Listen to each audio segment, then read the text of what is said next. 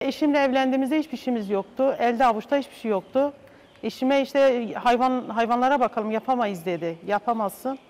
Ben yaparım dedim. İşte aldık. ba- Başta iki tane hayvanla başladık. Aldık ve elimde gelen çabayla hayvanları yavaş yavaş çoğalttık. En son çiftliği yapmadan önce 15-20 hayvanımız vardı.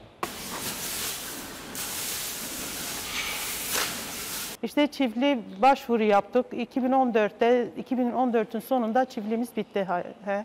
Bitti. Ondan sonra hayvanlarımızı yavaş yavaş şu an yani baya bir hayvanımız var bakıyoruz çok şükür.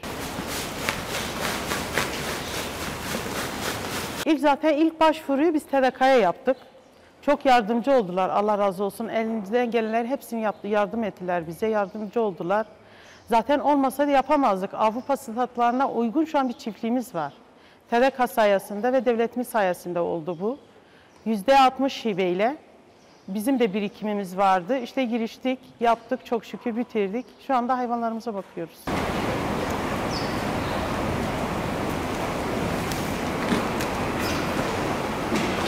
Bir bayan bence her şey yapabilir. Çocuk geliştirmek de çok zor bir iş. Çocuğu da büyütüyorsun. Hayvanlar da aynı çocuklar gibi. Özen gösteriyorsun, sevgi baktığında kendileri büyüyor zaten. Ya bakıyorsun iyi oluyor.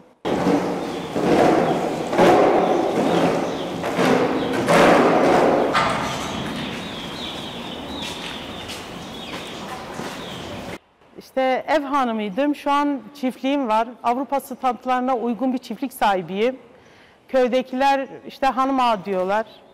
Ee, köyün dışındaki köylerdekiler bile işte benim yapabildiğim çiftliği kendileri de yapmaya çalışıyorlar. Şu an yapıyorlar da zaten örnek alıp. İşte güzel bir şey. Örnek oluyorsun. Güzel bir örnek.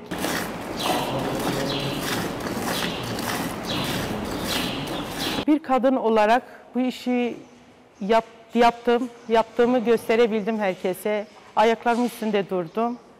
Yani bütün kö- köyün kadınları benden ilham alıyor. Onlar da benim gibi yapmak istiyorlar ve yapmayı da düşünüyorlar. Mutlu oluyorum.